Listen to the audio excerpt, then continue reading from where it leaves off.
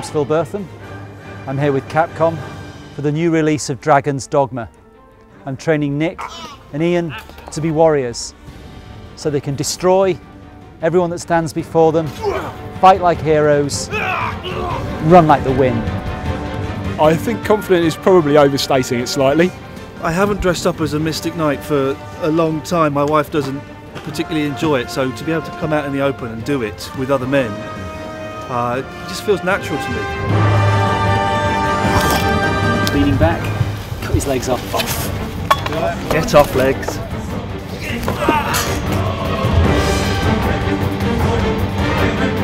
We're going to steal. Steal.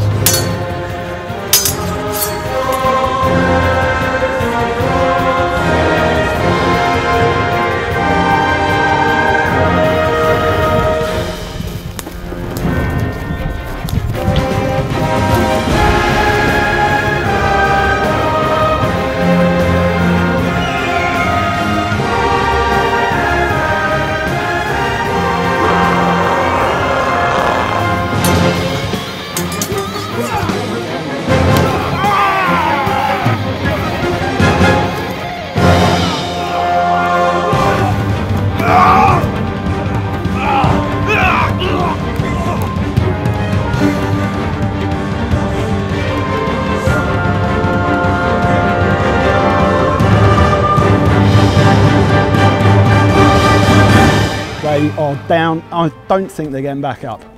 That was an awesome use of my sword fighting skills that have been lying dormant in me with for many, many centuries. Have you changed your clothes? No. But I've got to go.